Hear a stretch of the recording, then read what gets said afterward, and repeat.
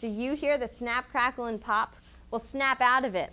The Kellogg's Company is under fire from the Federal Trade Commission for the Rice Krispies cereal making false health claims. As of June 3, 2010, the Federal Trade Commission says this is not okay. They say they have two problems with two of their labels, the one that says that this cereal can help support your child's immunity and the one that says that 25% of your daily value of antioxidant, nutrients, and vitamins A, B, C, and E can be found in this cereal.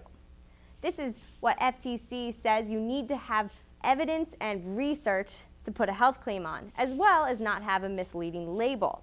This is the second time this year the FTC has had to make a restriction on Kellogg's advertising. The first time was with Frosted Mini Wheats earlier this year when they claimed that they can help improve your child's attentiveness by 20%.